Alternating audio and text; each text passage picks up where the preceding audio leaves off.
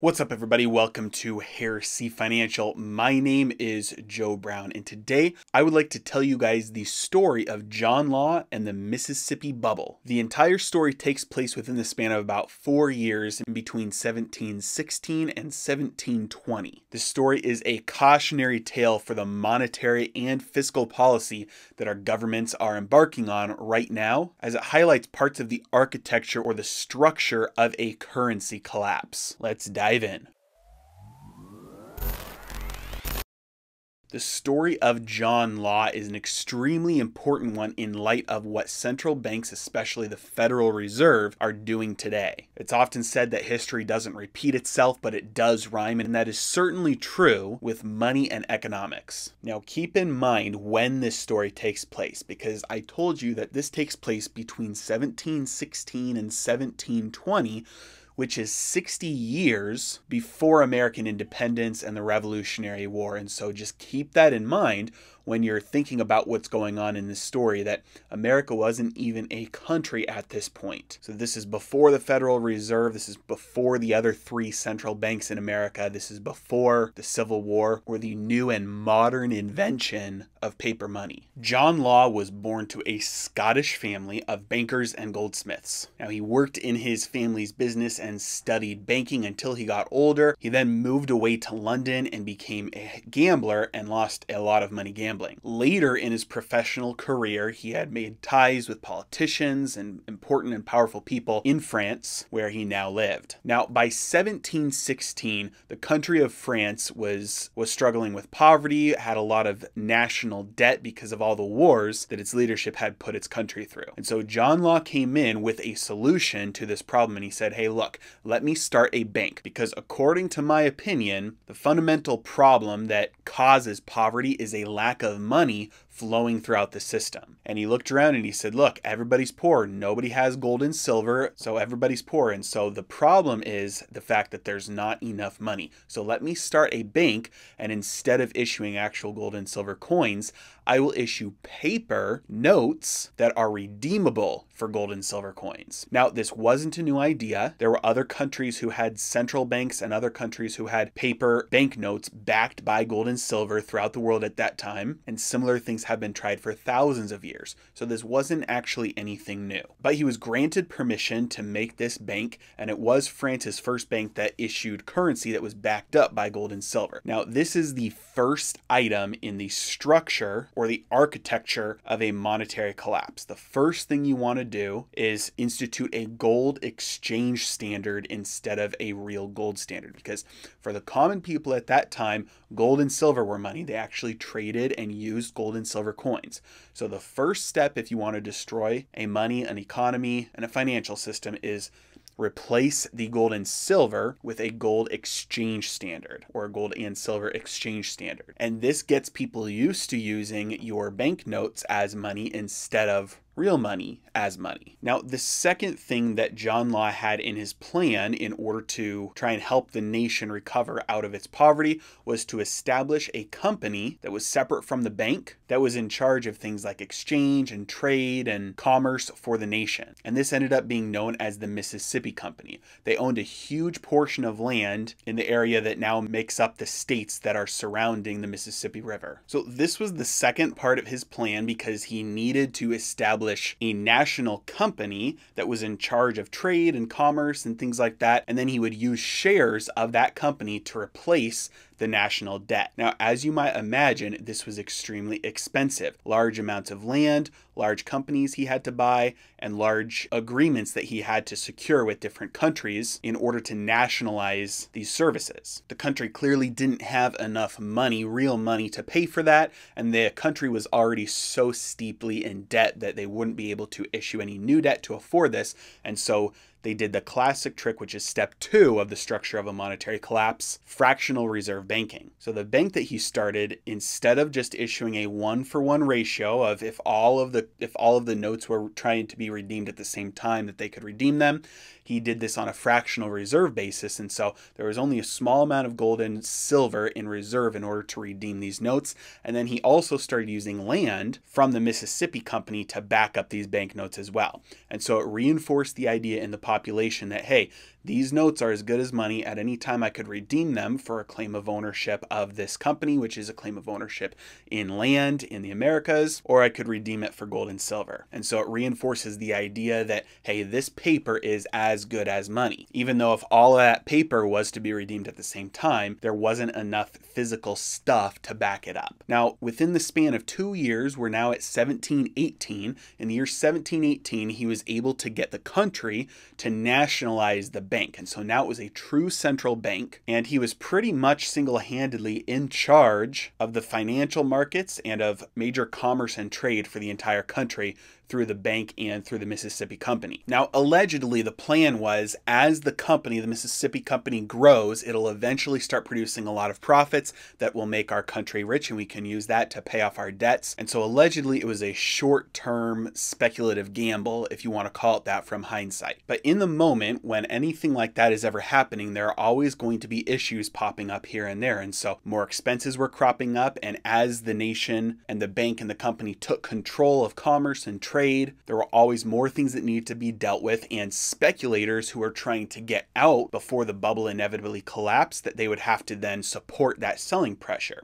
And so he was constantly needing to issue more and more shares of his Mississippi company. And in order to make sure that the price of the Mississippi company shares did not plummet as a result of issuing new shares, he had to support the price, support the selling pressure by printing new money from the bank. Now, by this time, the shares of the Mississippi Company had basically been substituted for the national debt. And so this is very similar to what is happening right now, where our national debt is being completely supported by the printing of money. They're two separate but tied institutions, the federal government and the Federal Reserve. New debt is being issued, and in order to not crater the value of the existing debt, the Federal Reserve is printing new money to buy up all of the sellers to make sure that there exists a floor underneath that selling. So now what you have is a company with a virtually guaranteed bottom. There's guarantee by the government that you can't lose money on this. And so a massive wave of speculative money ran into this and started massively inflating the value of these shares. And it was to such an extent that that's actually where the word millionaire came from. That term was coined during the Mississippi bubble when newly created millionaires were popping up out of nowhere from people who had bought in to the speculative venture, the Mississippi Company. Well, once this inevitably started to reverse and people started to sell, they were wanting to exchange their money for actual gold or silver. And clearly, there was so much fake money that had been introduced into the system that there was was nowhere near enough real wealth in order to back up the money that represented it. And so there was immediately a restriction placed on the redemption of the currency for gold and silver. And pretty quickly after that, it was just outright banned. And so you could not exchange those banknotes, that currency, for gold or silver anymore. And that brings us to the next point, that next layer in the structure of a monetary collapse. When the financial bubble starts to implode, you must withdraw the ability to exchange the paper, the fake asset, for anything of real value. Now, as soon as you eliminate the ability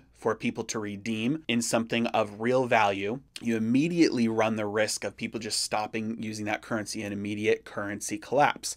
And so, what you have to do, and what John Law did, is made that currency legal tender for things like taxes and debts. And so, by law, that paper was now money. Now, at this point, it's 1720, so just four years after it all began, what historians call speculators had started to realize there is no way this can end well, and so they just started selling everything and using whatever currency they could to purchase gold and silver and purchase real assets like land. As that introduced downward selling pressure on the Mississippi Company, they were forced to print more and more and more money to support the price per share of the Mississippi Company until there had been so much money, so much fake money pumped into the system that hyperinflation set in. And during some months, it was as much as 30% price inflation every single month. Now, at this point, you're in a death trap because if you stop the printing to support the prices of the financial assets that back up the entire system, then the value of that asset just completely implodes and the system falls apart. But if you continue to print money in order to back up the price of the financial asset that backs up the entire system, then you get yourself into a hyperinflationary collapse. And that's exactly what happened. Within nine months from the start of the inflationary spiral,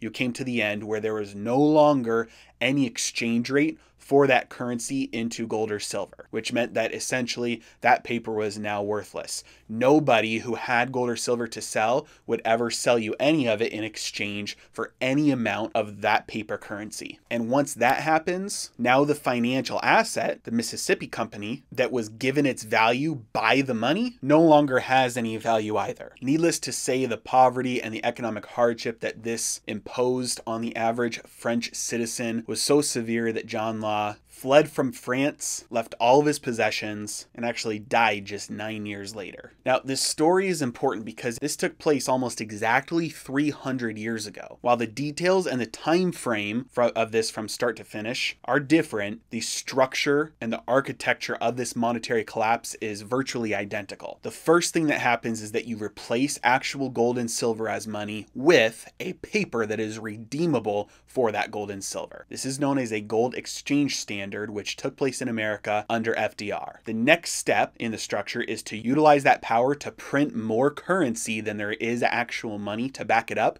and use that additional spending power to secure economic power. This took place until 1971 in America. As soon as that phase reaches the peak and you start to see signs of a run on the bank starting to happen where everybody starts to go exchange their currency for the gold or silver that supposedly backs it up, the next phase is to cut off the exchangeability implement a full fiat currency and say by law that paper is now money instead of what we used to say was backing it up. Now, all taxes and debts are illegally payable in this paper. Now, to maintain the economic power that you've built up during the previous phase, you're going to need to continue to print new money in order to buy up all of the financial assets that are being sold off by the free market so as to ensure that they don't lose their value. You provide a floor underneath the selling. And we've seen that most recently over the past couple of years. Central banks all around the world have been selling the financial asset, US Treasuries, which is the US national debt, which just like in the John Law story, it was the French national debt that was replaced by the Mississippi Company shares. The selling of that financial asset that holds the system together together. You can't let that fall too hard and too fast. And so you print money to support